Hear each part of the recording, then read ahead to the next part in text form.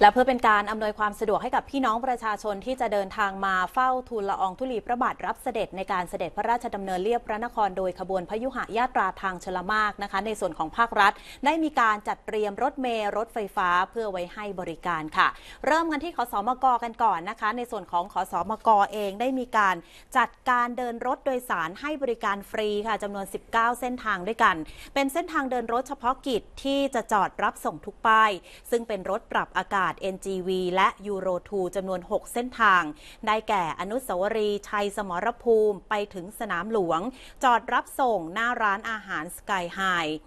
ส่วนเส้นทางที่ 2 ค่ะ สถานีขนส่งกรุงเทพก็คือจตุจักรนะคะ ไปจอดส่งที่สนามหลวง ซึ่งจะจอดรับส่งที่ใต้สะพานพระราม 8 ฝั่งพระนคร เส้นทางที่ 3 วงเวียนใหญ่ไปถึงสนามหลวง จอดรับส่งสถานีรถไฟธนบุรี ไปถึงหน้าวัดกัลยาณมิตร ส่วนเส้นทางที่ 4 ค่ะ สนามสุพัชลาสายไปถึงสนามหลวง จอดรับส่งหน้ามหาวิทยาลัยเทคโนโลยีราชมงคลพระนครวิทยาเขตเทเวศเส้นทางที่ 5 สถานีขนส่งกรุงเทพสายใต้ใหม่ไปถึงสนามหลวง จอดรับส่งใต้สะพานสมเด็จพระปิ่นเกล้าฝั่งธนบุรี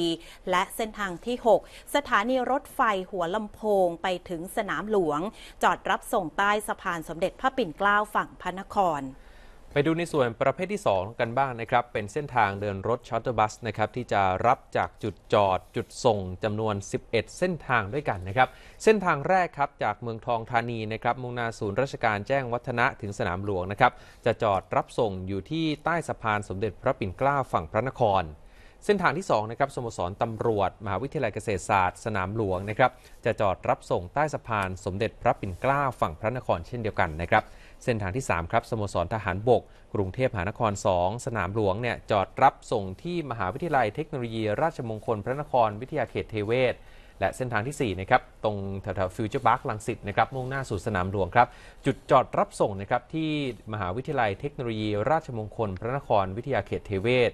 เส้นทางที่ 5 ครับ ที่จอดรถ MRT สำนักงงานใหญ่นะครับ แล้วก็ MRT ลาดพร้าว สารอาญา จะมีการจอดรับส่งนะครับที่มหาวิทยาลัยเทคโนโลยีสำนักงานอายการสูงสุด SCB สำนักงานใหญ่ สนามหลวงราชมงคล พระนครวิทยาเขตเทเวศนะครับ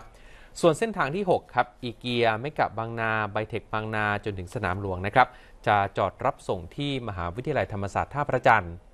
เส้นทางที่ 7 ครับท่าเรือคลองเตย โรงงานยาสูบ จอดรับส่งนะครับที่มหาวิทยาลัยธรรมศาสตร์นะครับนอกจากนี้ก็มีแอร์พอร์ตลิงก์แอร์พอร์ตเรลลิงก์นะครับมักกะสันสนามหลวงท่าพระจันทร์ส่วนเส้นทางที่ 8 ครับสถาบันเทคโนโลยีพระจอมเกล้านะครับจอดรับส่งเจ้าคุณจอดรับส่งที่บริเวณหน้าร้านอาหารสกายไฮนะครับส่วนเส้นทางที่9นะครับเซ็นทรัลพระราม 2 โรงเรียนบางมดวิทยาสนามหลวง จอดรับส่งที่แถวท่าเตียนนะครับ เส้นทางที่ 10 ครับพุทธมณฑลสาย 4 เซ็นทรัลศาลายา อู่บรมราชชนนี จอดรับส่งที่ใต้สะพานวิทยาลัยทองสุขนะครับแล้วก็เส้นทางที่ 11 ครับเซ็นทรัลเวสต์เกตนะครับสนามหลวงจะจอดรับส่งใต้สะพานสมเด็จพระปิ่นเกล้าฝั่งธนบุรีครับ มาดูการเดินรถประเภทที่ 3 นะคะ ก็เป็น shuttle bus แทนเรือข้ามฟากฝั่งธนบุรีและฝั่งพระนครค่ะ ซึ่งเป็นรถโดยสารธรรมดานะคะ ได้แก่สะพานกรุงทน จะจอดบริเวณหน้าโรงเรียนเขมะสิริอนุสรณ์ไปจนถึงท้องสนามหลวงค่ะ จอดรับส่งใต้สะพานพระพุทธยอดฟ้าฝั่งพระนคร และสะพานกรุงทนนะคะ ก็จะจอดอยู่ที่หน้าสถานีดับเพลิงสามเสนมาส่งที่สนามหลวงค่ะ จอดรับส่งใต้สะพานพระพุทธยอดฟ้าฝั่งั่งพระนครเช่นกัน โดยรถที่ให้บริการทั้ง 3 ประเภทนะคะ ก็ประกอบด้วยที่มาจากแต่ละมุมเมืองเข้ามายังท้องสนามหลวง มาจากจุดสำคัญสำคัญในตัวเมือง แล้วก็จากรถไฟฟ้าหรือว่า MRT ต่างๆ เพื่อเข้ามาที่ท้องสนามหลวง และเส้นทางเรือข้ามฟากนั้นจะวิ่งให้บริการตั้งแต่ 9 โมงเช้าจนถึง 4 ทุ่ม หรือจนกว่าประชาชนจะเดินทางออกจากพื้นที่หมด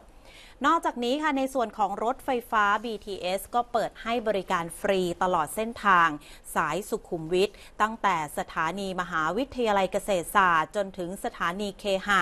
และสายสีลมตั้งแต่สถานีสนามกีฬาแห่งชาติ ถึงสถานีบางว่าส่วนรถไฟใต้ดิน BRT นะคะก็ให้บริการฟรีตลอดเช่นเส้นทางเช่นเดียวกันค่ะ ตลอดระยะเวลาการให้บริการ